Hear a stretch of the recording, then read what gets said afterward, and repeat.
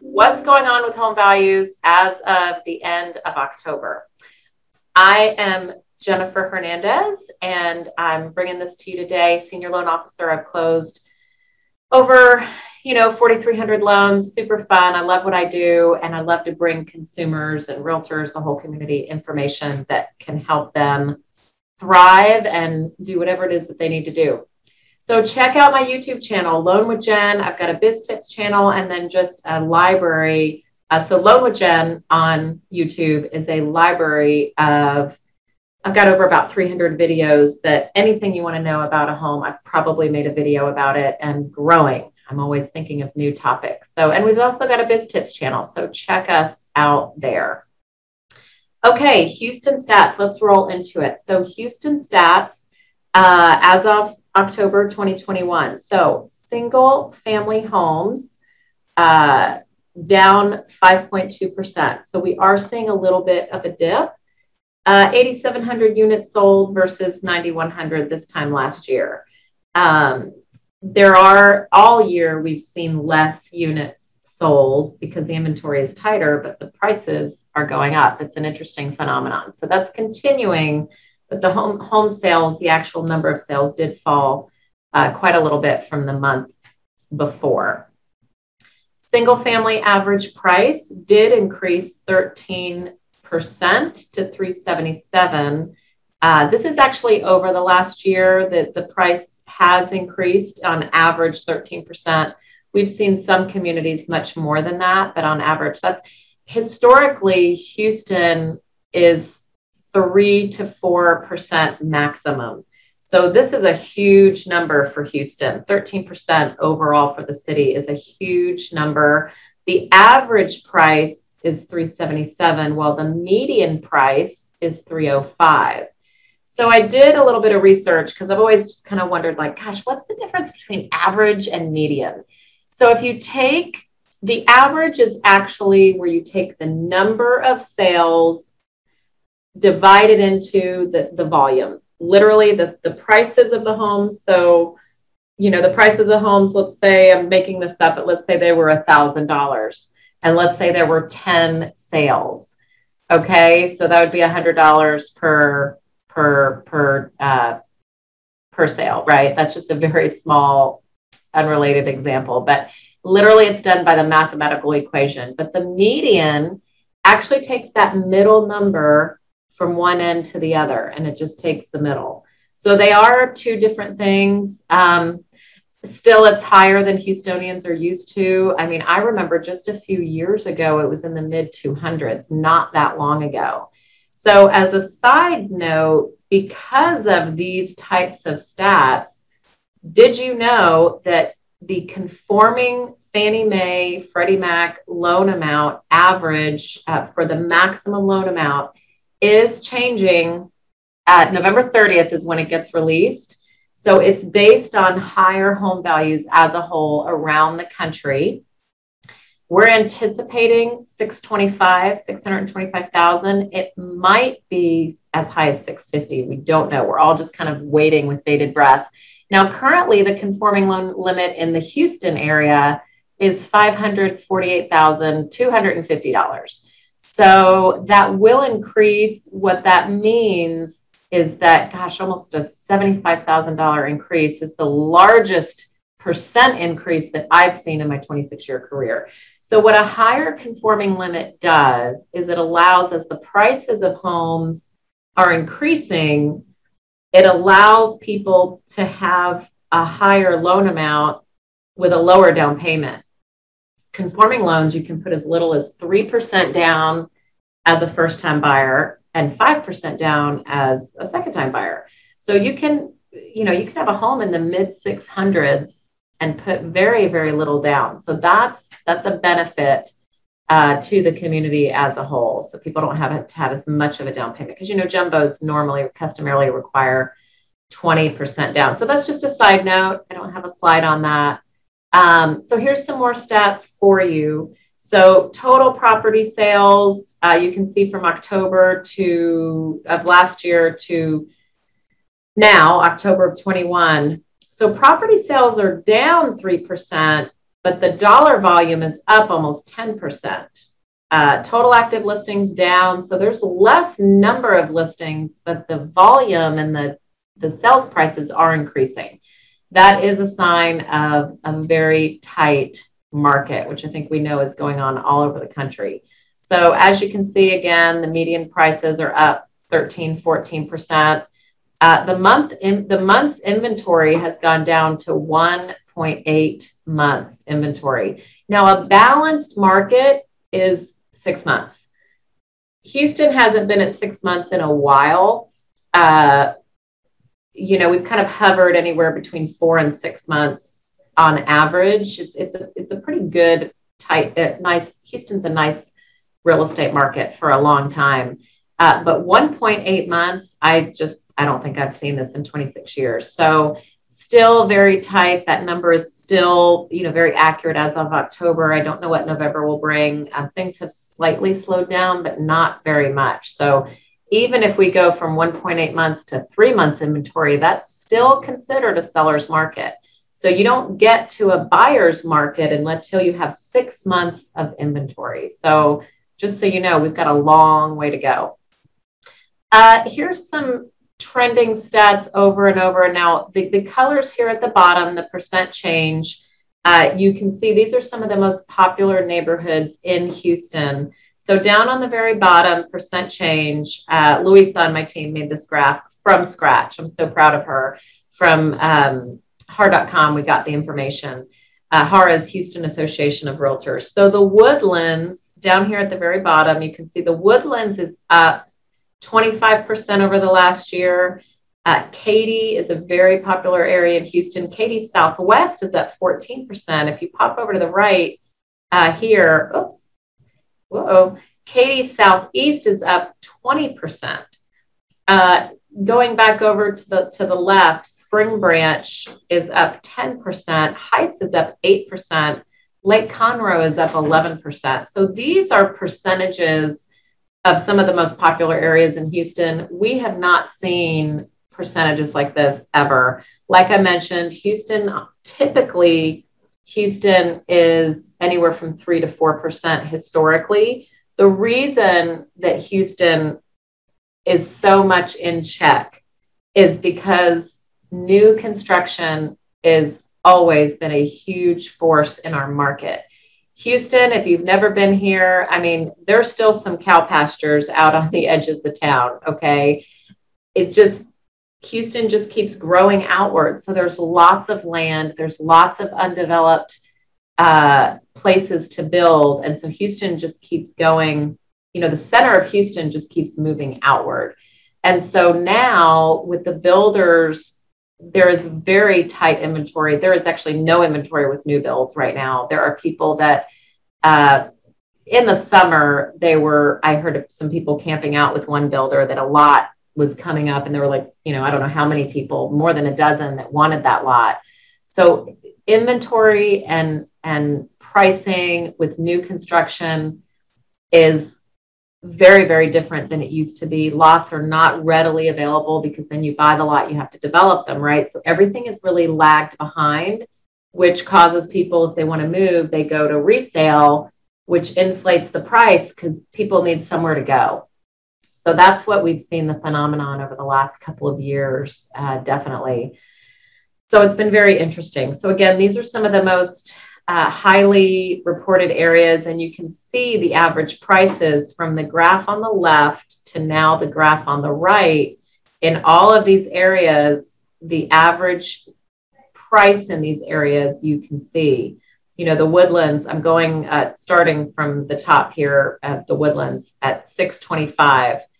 Uh, Katy is 444, and these Katy is out in the burbs.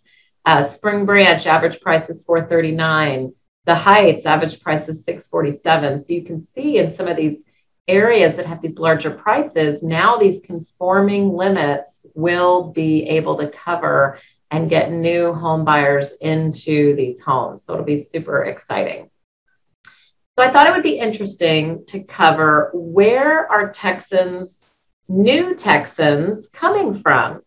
Now most of the people in the last 20 years, I thought this is an interesting stat that in the 19 of the last 20 years, the top state that reloads to Texas is California. And that has not changed. We have seen a lot of people from California.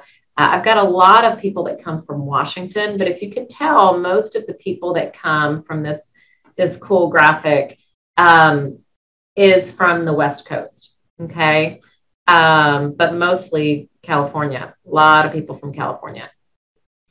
When new Texans come, where are they going? Did you know that Houston Harris County, where I live, and I'm actually residing right now, my office right now is in Harris County, is the number one spot. Houston Harris County. And you can see a lot of these other counties are in, um, you know, different parts.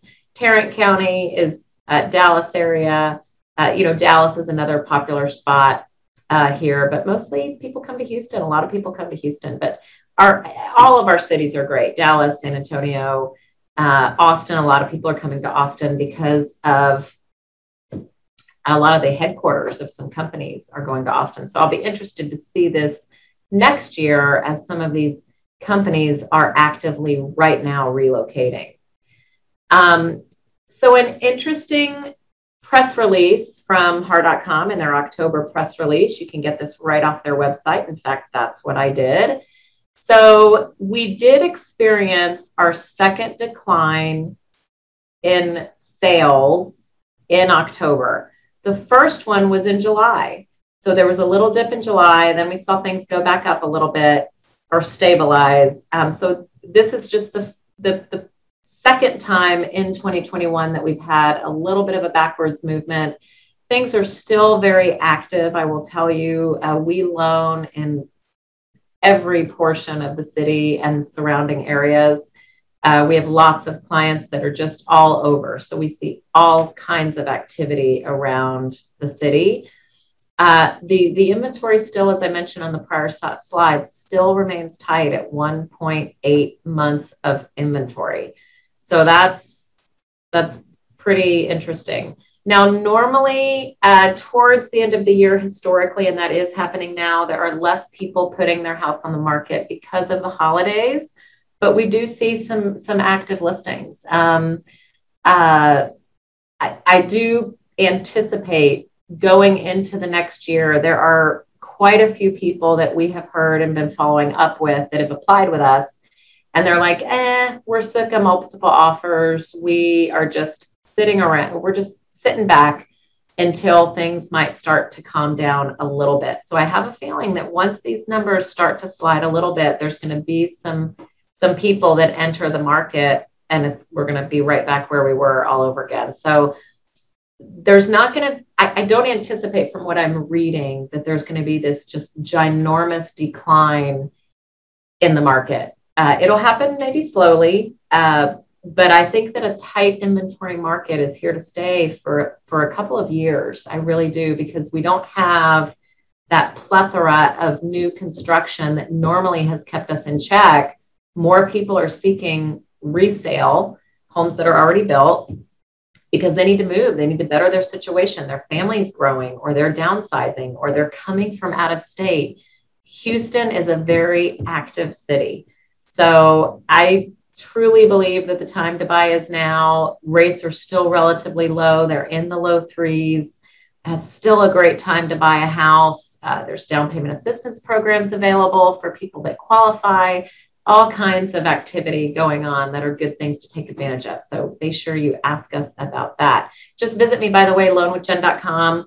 All of my handles on social media, my loan, my website, everything is Loan with Jen uh, you can feel free to contact me there. So, just a quick graph for you signs of stability. So, uh, this is just a graph that, uh, yes, in May and July, uh, actually, uh, hang on, I'm reading sideways. Uh, in July of this year, so this dates back just a little bit. This was done by the Texas A&M Research um, Real Estate Center. Whoop, I'm an Aggie, class of 94.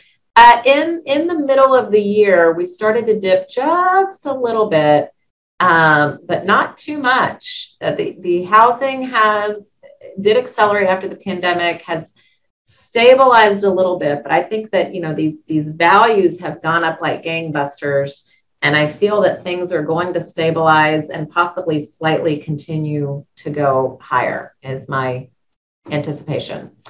So, from a lender's perspective, this is just what I see, feel, see every day as we have lots of applications from different parts of the city.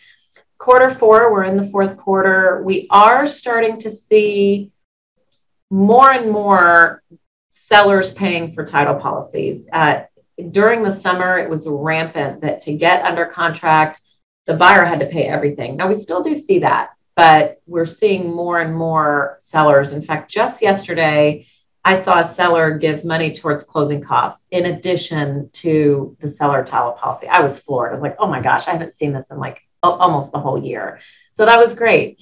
Um, so this is just something interesting for you. We still are having appraisals come in below value.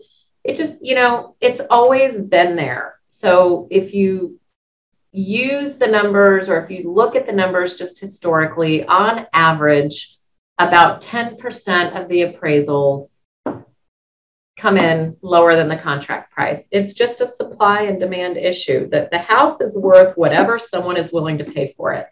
And sometimes sellers get it under contract for over the list price for whatever reason. Now, we've seen more of that definitely this year. In fact, if you look at my quick uh, number here, that uh, in Q3, 43%, I got this from my appraiser friend, 43% of the homes sold over list price. That's a lot. Now, 23% of the homes came in appraised value below the value. Now, those numbers are definitely elevated. Historically, 10% of the appraisals, it's a numbers game. Just come in lower because sellers are always trying to get as much as they can regard no matter what the market's like, right? Um, so this is just some some stats for you. Um, I haven't had too many lately come in undervalued. This was quarter three. We're in quarter four. Don't know yet where we're going to land.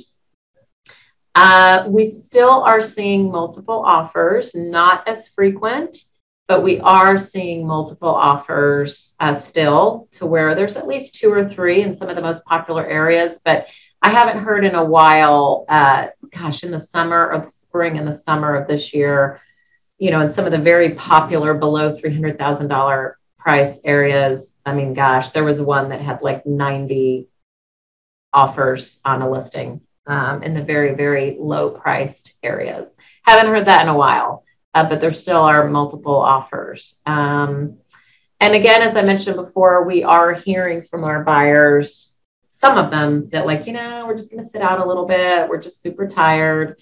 But we still have plenty of them that are just moving around. They, they want to buy before the end of the year, take advantage of rates while the rates are still low. Rates are starting to trickle up. I will, I will tell you that. It's, it's happening slowly, but it is happening and it will continue to happen. So you can still get something with a three in it for sure. So still rates are in the low, low, low threes. So still a great, a great time.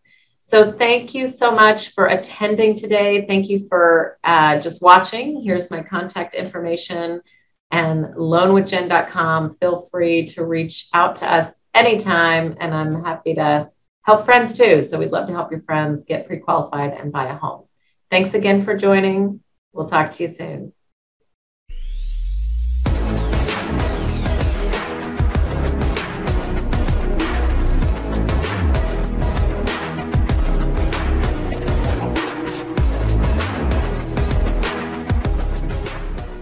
Legacy Mutual Mortgage is an equal housing opportunity lender.